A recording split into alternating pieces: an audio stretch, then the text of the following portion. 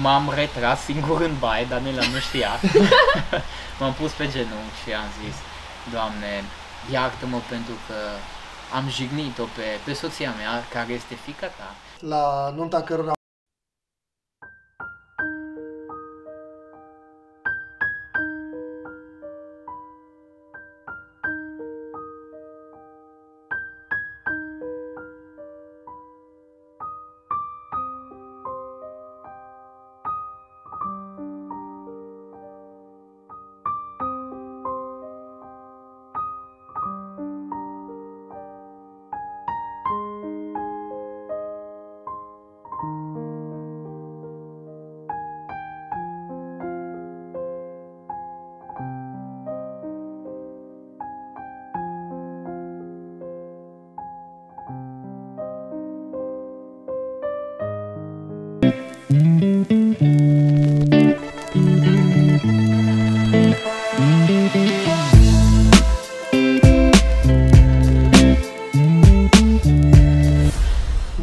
Bună seara și bine v-am regăsit la un nou vlog. În această seară sunt alături de familia Stoicescu. Eu sunt Răzvan, salut! Și eu sunt Daniela. Mă bucur să îi am alături uh, o familie deosebită, la nunta cărora am participat ca și fotograf împreună Cristina și cu Florin și mă bucur să fiu alături de ei la împlinirea la un an de zile de la cea mai frumoasă, una dintre cele mai frumoase zile din viața lor. Trăim zile dificile în care căsătoria este tot mai amânată de către tinerii din generația noastră și astăzi aș vrea să ascultați puțin din povestea lor de dragoste, din primul lor an de căsnicie, să vedeți cât de minunat este în momentul când îl ai pe Dumnezeu ca stăpân și cât de binecuvântată poate să fie familia ta în momentul când El este Domnul familiei tale. Așa că de aici vreau să îi las pe ei să prezinte din viața lor, din uh, cum s-au cunoscut, din cum a fost primul an de, din căsnicia lor și Dumnezeu să vă binecuvânteze pe toți care urmăriți. Noi suntem familia Stoicescu, așa cum ne-a prezentat și Ruben, și ne bucurăm că astăzi împlinim un an de la căsătoria noastră și am hotărât să facem acest video ca o mărturie spre slava lui Dumnezeu, să spunem cum El a lucrat în viețile noastre, uh, ne-a pus împreună și totodată dorim ca prin acest video multe persoane să fie încurajate și uh, să-și pună încrederea în Dumnezeu și să asculte de El. Așa cum uh, bărbații sunt uh, adevărați gentlemen, am să ofer întâietate scumpe mele soții. Da, mulțumesc, iubire. Încă din adolescență, visul meu a fost să-mi întemeiez o familie. De-a lungul timpului am căutat un soț care să mă iubească, să mă înțeleagă, să mă respecte. Însă căutarea mea a fost din propriile mele decizii, fără a-L implica pe Dumnezeu. Evident, a fost un eșec. În întoarcerea mea la Dumnezeu, am învățat să pun garda jos și să las pe El să lucrez în viața mea. Nu a fost ușor, dar treptat am văzut schimbarea și felul cum Dumnezeu a lucrat în viața mea a fost cu adevărat un miracol. Ce mi-a deschis mintea și inima a fost însuși Scriptura insuflată de Duhul Sfânt al lui Dumnezeu. Primul și cel mai de bază verset prin care Dumnezeu mi-a vorbit este scris în Matei 6 cu 33. Căutați mai întâi împărăția lui Dumnezeu și neprihănirea lui și toate aceste lucruri vi se vor da pe deasupra. Pentru mine a fost o luptă grea înainte să cunosc acest verset, deoarece doream toate celelalte lucruri mai întâi, iar apoi împărăția lui Dumnezeu. Iubirea lui însă nu m-a părăsit, dar nu mi-a dorit ceea ce am dorit cel mai mult până nu l-am pus pe el pe primul loc în viața mea. Um, îmi amintesc că într-o seară mă rugam pentru un soț și enumeram toate dorințele mele. Însă ce credeți că mi-a dăruit Dumnezeu? Mai mult decât eu am cerut în acea zi. Un soț credincios, cu o inimă de aur, frumos și specific că mi-am dorit ca el să aibă ochi albaștri. Ce credeți că mi-a dăruit Dumnezeu? Vă încurajez și vă sfătuiesc să vă puneți încrederea în Dumnezeu și să vedeți cum El va lucra minunat în viețile voastre. Ce frumos ai zis, scumpa mea, deci uh, mi-a crescut inima așa de, de bucurie auzind, de să înțeleg că Dumnezeu ți-a răspuns la rugăciune și chiar ți-a dăruit un soț cu, cu ochi albaștri. Da. Slavă Lui! Fiindcă Dumnezeu este suveran, iar cuvântul lui este valabil și se aplică în viața fiecăruia dintre noi, la fel cum uh, forța gravitațională acționează, spre exemplu, asupra tuturor, pot să spun că și în dreptul meu Dumnezeu a lucrat în momentul în care am ales să fac voia Lui în viața mea și anume să spun oamenilor Evanghelia Domnului Isus. Îmi aduc aminte cum unii oameni, chiar și din familia mai lărgită, dacă pot să spun așa, îmi ziceau, ok, bine Răzvan, acum tu tot cu Biblia ești, cu Domnul Isus, cu Dumnezeu, dar când mai vorbești și tu cu o fată, că uite, trece timpul și când te mai însori și tu. Uh, eu aveam așa bucurie și pace de la Isus Hristos pentru că făceam voia Lui și le răspundeam cu așa încredere că o să vadă cum Domnul la momentul potrivit o să-mi dorească o soție. Într-o dimineață, în timp ce mă rugam, am primit din partea lui Dumnezeu în inima mea următoarele cuvinte și următoarele cuvinte. Răzvan, o soție este un dar de la mine. Și dați-mi voie să vă citesc un verset din Cartea Proverbe, capitolul 19, cu versetul 14. Casa și averea le moștenim de la părinți dar o nevastă pricepută este un dar de la Domnul. În acel moment eram așa bucuros și i-am cerut uh, Domnului să-mi dăruiască ajutorul cel mai potrivit pentru mine și viața mea, dar i-am, i-am, um, i-am specificat lui Dumnezeu uh, trei lucruri pe care să le aibă soția mea, sau mai bine zis, trei calități. Primul a fost să iubească pe Dumnezeu pe primul loc în viața ei, al doilea să fie frumoasă și este frumoasă și va rămâne frumoasă pentru mine toată viața mea, Bine pentru că este singura femeie pe care o iubesc. Iar al treilea lucru pe care l-am cerut a fost să mă asculte și să mă urmeze în calitate de soț. Vreau să vă zic că din momentul în care am început să cooperez cu planul lui Dumnezeu și să fac chemarea lui Dumnezeu în viața mea, a durat cam un an și jumătate până să o cunosc pe, pe Daniela.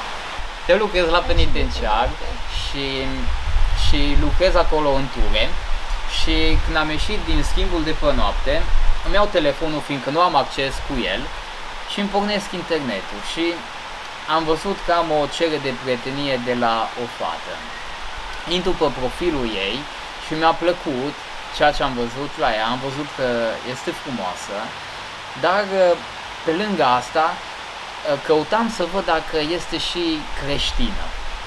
M-am bucurat foarte mult pentru că am văzut că are versete biblice, dar ce m-a umit mai tare a fost faptul că chiar acolo sub uh, poza ei de profil, acolo la biografie, avea scrisă următoarea frază care este și acum, se poate verifica. Uh, era scris, o persoană este cu adevărat frumoasă în momentul în care Dumnezeu este pe primul loc în viața ei. Deci mi-am adus aminte exact cum i-am cerut Domnului în rugăciune, să-L iubească pe El pe primul loc. Am ajuns acasă, am parcat mașina în spatele blocului și vreau să vă zic că nu m-am dat jos din mașină până când din nou am scos telefonul și să mai mă uit la, la ea pe profil. Încă nu îi dădusem acceptul. Am intrat în casă și ceva înăuntru meu tot îmi spunea să-i accept cererea și să-i scriu. Menționez faptul că am văzut că ea locuia pe atunci în Germania. I-am acceptat cererea de prietenie și am început să, să-i scriu.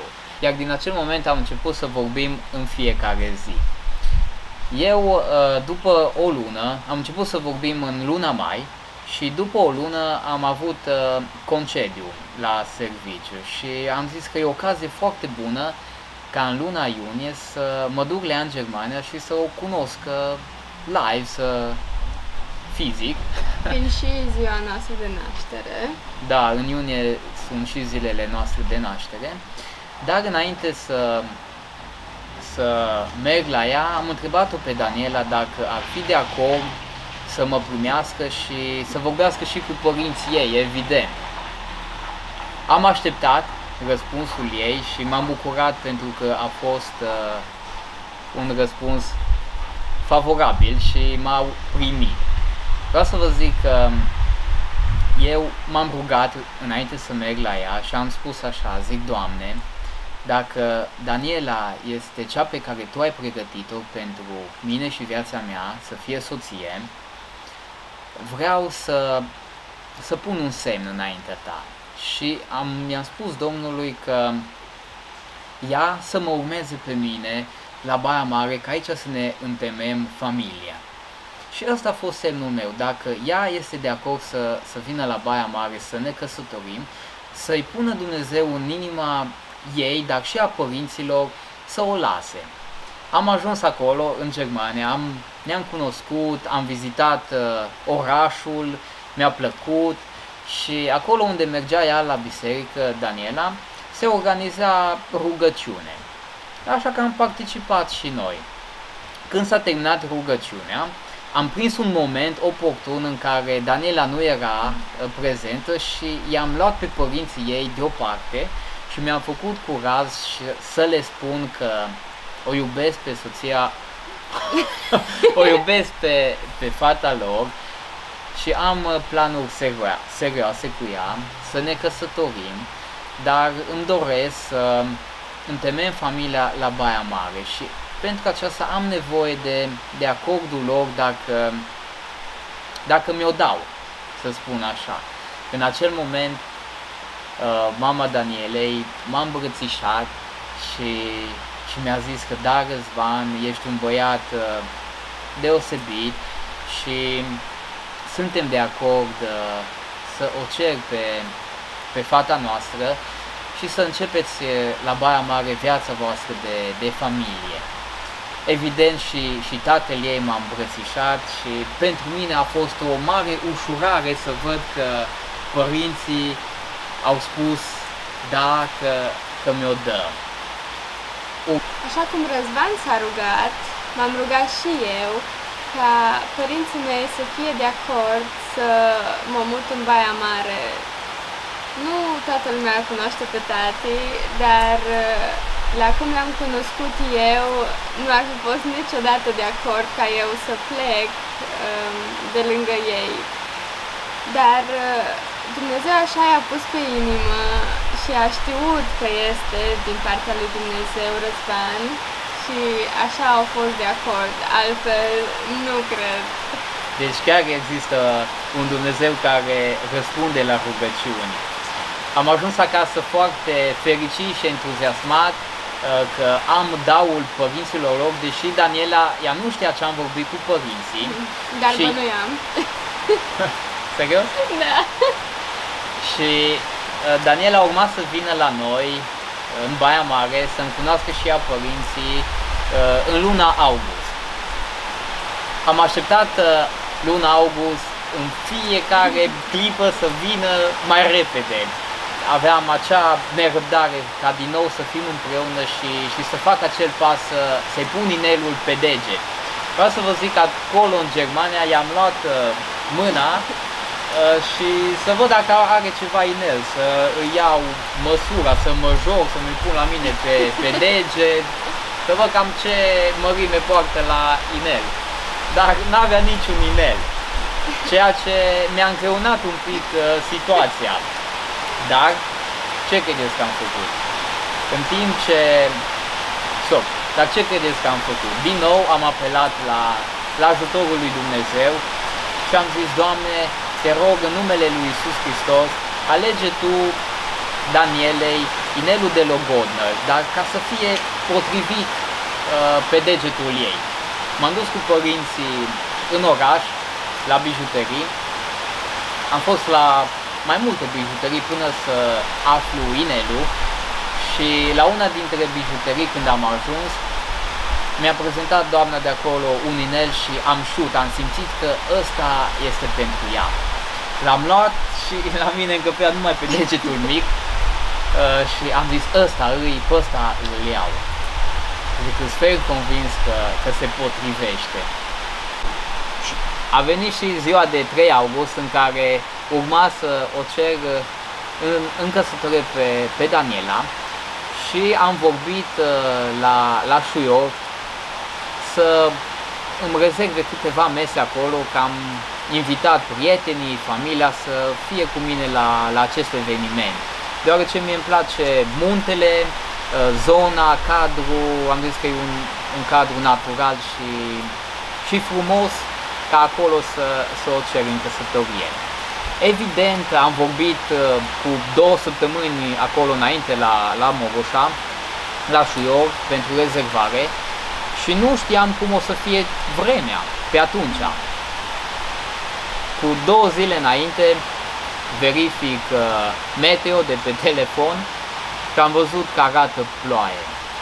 Pai, am zis, Doamne, nu se poate, m-am rugat pentru ziua aceasta, pentru acest moment, ca să iasă totul bine.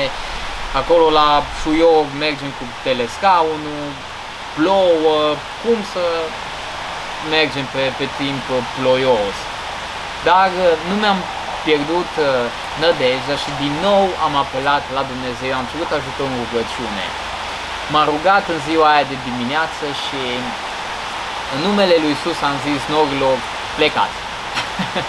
Pentru că Domnul Isus Hristos, dacă ne aducem aminte, și pe mare, uh, când era cu ucenicii, s-a strânit o furtună. Iar Domnul Isus a, s-a, s-a ridicat și a mustrat, uh, a poruncit mai exact vântului să se oprească și mării uh, să tacă fără gură și la porunca lui Isus Hristos chiar și vântul s-a oprit. Iar uh, am fost încurajat bazat pe acel verset să mă rog. Îi mulțumesc lui Dumnezeu că nu a plouat și am putut să o cer. Și că inelul a fost foarte potrivit, adică nu-mi intra pe niciun deget decât pe degetul potrivit. Inela. Da, uh, slavă Domnului că, că m-a ajutat și cu inelul și, și acum le are și inelul de, de logonă și cel și verigheta, evident. Uh, când ne-am întors de la, de la Mogoșa, vreau să vă zic că a început ploaia. Dar îi mulțumesc lui Dumnezeu că pe timpul când am stat noi acolo, El ne-a dat vreme bună și chiar am avut vreme bună și pentru poze, că știți că la fotograf dacă e prea mult soare, nu este ok pozele, nu e așa, Ruben? Hai, hai!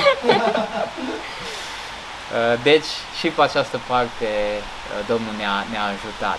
Vreau să vă zic că un an de zile nu a fost foarte ușor pentru că ea s-a dus înapoi în Germania, eu am rămas aici, în Baia Mare, dar în fiecare zi am ținut legătura, vorbeam, ne vedeam pe, pe WhatsApp și fiind logodiți, puteam să vorbim mult mai multe detalii despre cum ne dorim uh, să fie căsnicia noastră, să stabilim, dacă pot să zic așa, uh, anumite priorități, cum îmi doresc eu, ce își dorește Daniela de la mine, ce îmi doresc eu de la ea. Și, în primul rând, ne doream să avem o, o locuință unde, unde să stăm, pentru că n-am vrut să, să locuim cu părinții sub același acoperiș. Și este un verset în Biblie, cred că în cartea Exod, în care spune așa că moașele s-au temut de Dumnezeu, Dumnezeu le-a făcut case. Și bazat pe acel verset, i-am spus soției mele, zic, Daniela, uite ce ne spune cuvântul lui Dumnezeu, zic, haide să ne rugăm ca Domnul Iisus Hristos să, să ne binecuvânteze cu o casă, dar imediat după nuntă să ne putem muta în ea. Și exact așa Dumnezeu a lucrat și ne-a binecuvântat cu o casă, deci este mai mult decât uh, așteptarea noastră. Vreau să vă zic că resursele noastre uh, sunt normale, chiar uh, modeste, dar Dumnezeu așa a făcut ca a onorat credincioșia noastră. Mi-am mulțit. Da, el a înmulțit. Dar știți de ce? Mi-a spus soției mele, uite, noi îl iubim pe, pe Dumnezeu și știm că tot ce avem vine de la El. Inclusiv banii noștri, inclusiv serviciul, l-am primit în dar de la Dumnezeu. Evident, am, am învățat și eu, am fost la o școală, dar degeaba învățam eu dacă Dumnezeu nu m-a ajutat. Nu reușeam. Și, uh, evident, uh, la nuntă am rămas cu, cu o sumă de bani după ce am uh, achitat localul și am spus Daniele, zic, Daniela, eu, noi, eu vreau să îi dăm Domnului și a zecea parte, așa cum ne spune cuvântul lui, să fim credincioși și Dumnezeu ne va binecuvânta. Exact așa s-a și întâmplat. Îi mulțumim lui că ne-a dat o casă și venitul nostru l-am pus în mâna lui Dumnezeu și a zecea parte, așa cum ne spune cuvântul lui, l-am dus la casa lui. Și vreau să zic că n-am dus niciodată lipsă de nimic și în continuare nu ducem lipsă de nimic. Uh, vreau să vă încurajez ca să vă puneți încrederea în Dumnezeu, atât pentru un partener credincios de viață, dar și nu numai, ci în orice domeniu uh, al vieții voastre, implicați-l pe Dumnezeu, pentru că tot ce este frumos începe cu Dumnezeu. Iar în Isus Hristos, uh, Dumnezeu ne spune că suntem binecuvântați dacă, dacă îl ascultăm și ne punem încrederea în El. Vreau să închei această mărturie cu un verset din Psalmul 37 cu versetul 4, care spune așa Domnul să-ți fie desfătarea și El îți va da tot ce-ți dorește inima. Am revenit alături de ei, i-am lăsat un pic, poate să nu, nu că să le dau emoții, dar poate că e mai ușor când poți să-ți uh, deschizi sufletul fără să fie o a treia persoană. Și Răzvan, o întrebare. Uh, majoritatea se plâng de primul an de căsnicie, adică cu toții știm că uh, atunci când se prelucrează aurul, ca să iasă aur curat, e mult de lucru acolo. Dar apoi uh, două persoane care le-a dus Dumnezeu, ia, pe ea din Germania, pe tine de aici, le-a pus la un loc. Ce părere aveți voi sau ce puteți să spuneți? Cum puteți să încurajați pe tineri ca să meargă în pasul căsniciei? Ce părere aveți voi? Cum a fost primul an? Da, Ruben, așa e. Um, am ascultat și multe mărturii a, a unor familii tinere și nu numai, care ne-au spus că primii trei ani au fost foarte greu, dar spre deosebire de noi, aș putea să zic că în dreptul meu, cred că mai greu a fost înainte da. Uh, de căsătorie. Cred că înainte de căsătorie Uh, Dumnezeu a lucrat foarte puternic în viața noastră și ne-a pregătit unul pentru celălalt.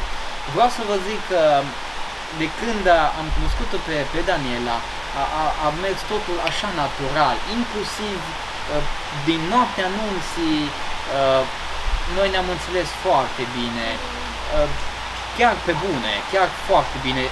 Evident au fost și situații în care ne-am certat, dar Dumnezeu pe mine Uh, nu mă lasă să stau liniștit dacă, dacă știu că ne-am certat și mi-aduc aminte chiar noaptea, uh, pe la 1, 2, nu, ne-am, nu ne culcasem, uh, ne, ne certasem, aveam un schimb mai dur de replici și n-am putut să o lăs așa pe, pe Daniela și eu să ne punem la somn supărați pentru că este un verset care ne zice să nu lăsăm ca mânia să apună soarele, să soarele peste mânia noastră, exact. așa. Și știți ce am făcut? M-am retras singur în baie, Daniela nu știa.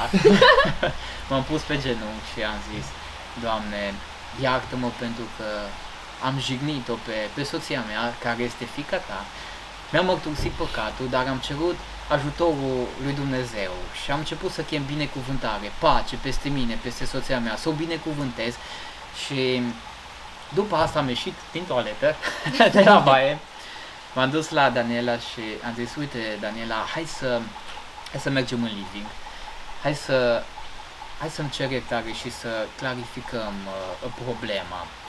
A fost de acord, ne-am dus, uh, mi-am cerut iertare și, și în dreptul ei. La rândul meu mi-am cerut Da, am plâns Uh, iar apoi ne-am rugat împreună și am mulțumit lui Dumnezeu că El ne-a ajutat și din nou, din nou am primit pace și bucurie. Eu nu pot să stau la somn, să mă pun la somn dacă ne certăm și ceva, uh, ceva nu-i bine. Automat, repede, repede vrem să uh, reparăm greșeala. Da, adevărul cu cât uh, repar mai repede, Da. zici că e mai ușor. Exact. Dacă lași un- să treacă o oră, două, poate zile, în anumite cazuri, atunci zici că cum să mă apropii? Oare Da. cum o să fie momentul ăla? Așa e. Și într-adevăr, dacă poți să faci pasul ăsta, uh, chiar dacă noi ca și bărbați, uh, având în vedere și meseria în care ești tu, trebuie să fii un om mai dur, poate mai serios, mai așa, și să te gândești, mă, trebuie să mă plec cumva, adică să mă umilesc în ghilimele, Așa e. dar în momentul când tu te pleci înainte lui Dumnezeu, ai o victorie. Și scopul nostru în lumea asta e să câștigăm familia noastră pentru Hristos și prin exemplu familiilor noastre să câștigăm și pe ceilalți pentru Hristos. Și chiar mă bucur pentru familia voastră că Dumnezeu a lucrat așa de minunat. Vreau să spun la Răzvan, deși nu i-am zis niciodată, două lucruri, două momente din viață care m-au impresionat la, la el.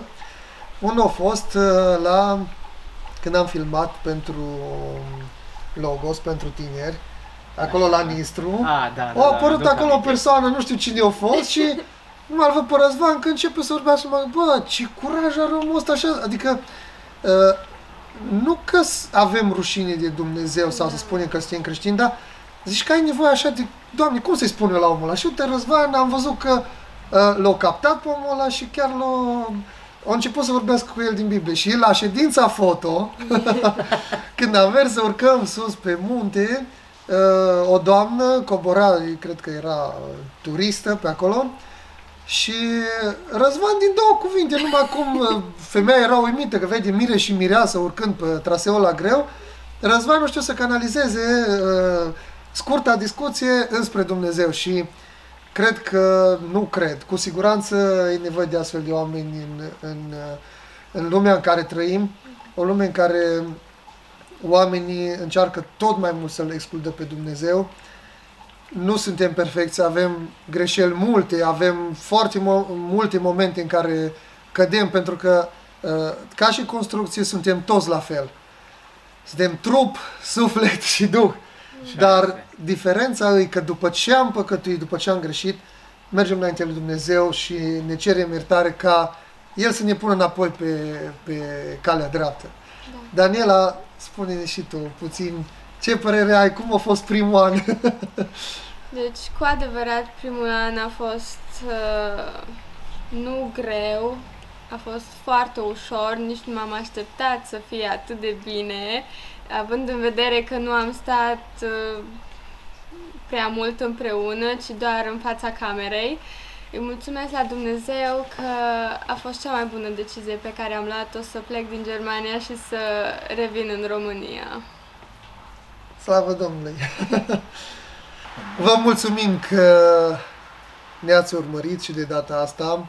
Am vrea ca Dumnezeu să lucreze și în viețile voastre, dragi tineri, cei care urmează să vă căsătoriți, cei care sunteți deja căsătoriți, să luați acel cuvânt de care aveți nevoie din această mărturie și fie ca Dumnezeu să lucreze în viețile voastre, fie ca Dumnezeu să lucreze în viețile voastre în continuare. Amin. Amin. Și să ne vedem și peste mulți ani, tot așa binecuvântați și să fiți plini de iubire. Dumnezeu să vă binecuvinteze. Amin. Amin. Mulțumim. Salutări, iubiți-vă mult și Dumnezeu să vă binecuvinteze. Amin. Fiți binecuvântați!